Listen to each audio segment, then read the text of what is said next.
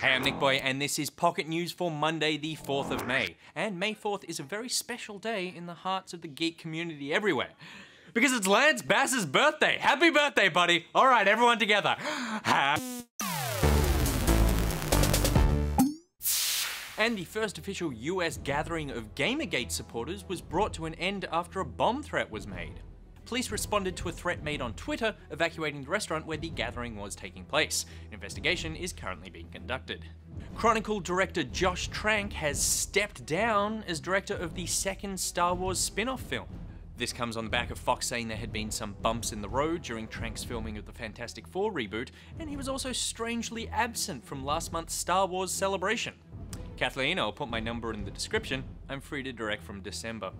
And over the weekend, gamers spent a lot of money.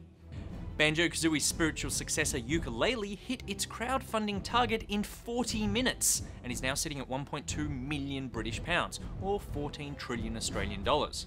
And Valve's Dota 2 compendium has broken the $5 million mark, with player contributions making up over 70% of that figure. Okay, that's it for the news today, Pocketeers. But since it is International Star Wars Day, use the comments below to share your favourite quote from the universe the films, the books, the games, the erotic fanfiction, whatever. And be sure to come back later this afternoon where I'll be revisiting a Star Wars classic. Until then, may the 4th be with you. Lance Bass, NichBoy, out.